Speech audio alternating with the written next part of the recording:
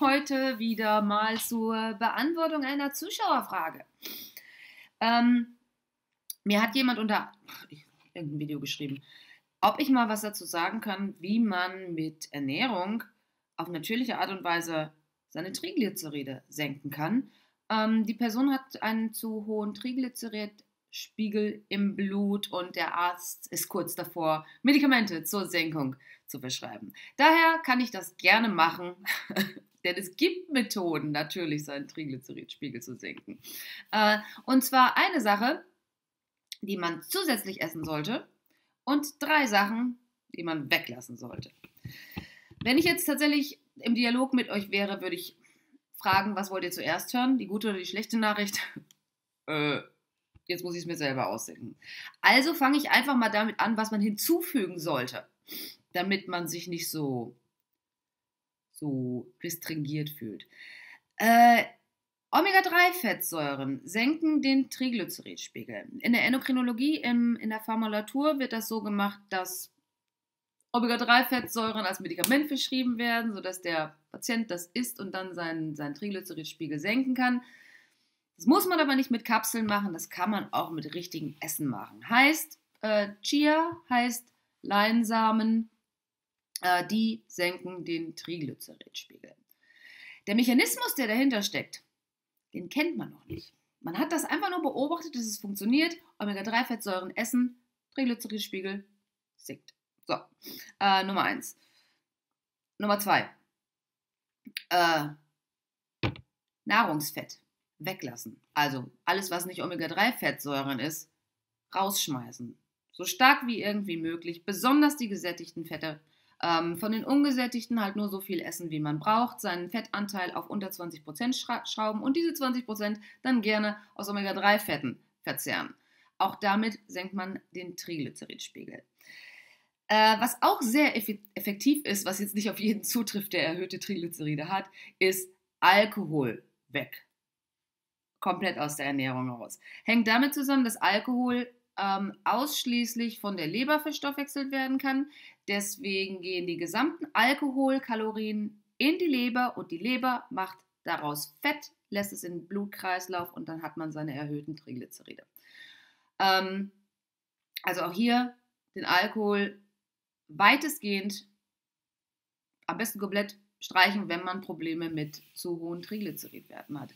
Was viele Leute nicht wissen, was man auch sehr lange nicht wusste, ist, und das sind wir jetzt bei Nummer 4, äh, Fructose steigert den Triglyceridspiegel. So, was ist jetzt Fructose? Fructose ist nicht Fruchtzucker. Fructose ist nicht Obst.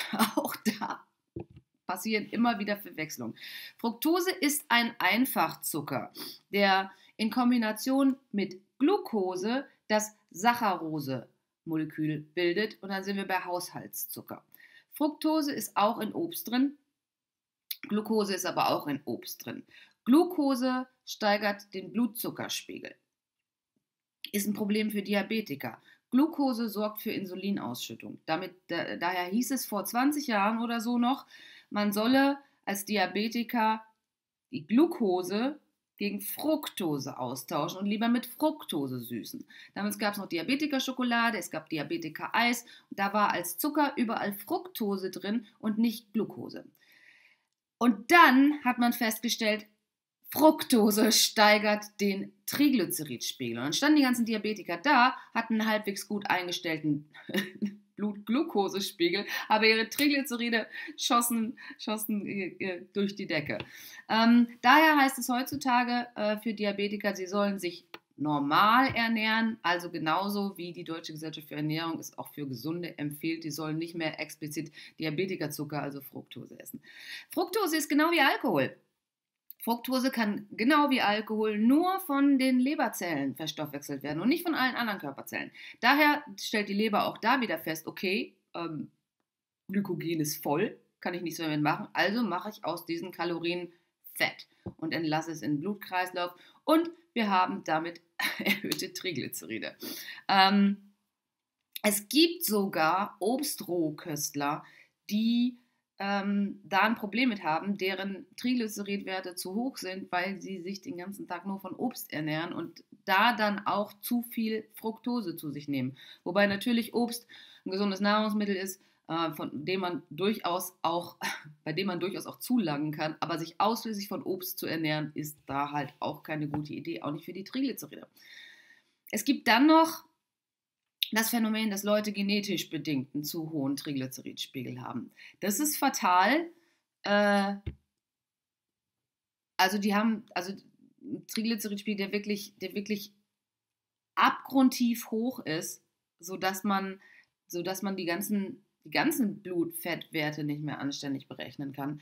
Ich denke, die profitieren ebenfalls davon, diese Sachen zu berücksichtigen, aber ich weiß auch von Leuten, die einen genetisch zu hohen Cholesterinspiegel haben, dass die zwar in der Lage sind, mit Ernährungsmaßnahmen den zu senken, aber eben nicht so stark, wie er soll, gesenkt werden sollte, um im Normbereich zu sein. Ähm, ja, da muss man mal überlegen, weiß ich nicht. Weiß ich nicht, ob man dann medikamentös zusätzlich mit eingreifen sollte oder nicht. Oder das ist dumm. Aber das ist auch nicht der Standardmensch. Otto Normalverbraucher hat deswegen erhöhte Triglyceridwerte, weil er zu viel Zucker isst, weil er zu viel Fett isst, weil er zu viel säuft. Und zu wenig Omega-3 isst. Und das sind alles die Sachen, die man unternehmen kann, um natürlich seine Triglyceride zu senken. Das war's für heute. Ich bin froh, dass das Video nicht so lang geworden ist. Ich bin unfassbar im Stress. Ähm und warte darauf, dass diese Woche vorbei ist. Das war's. Ich sag ciao. Bis bald. Eure Silke.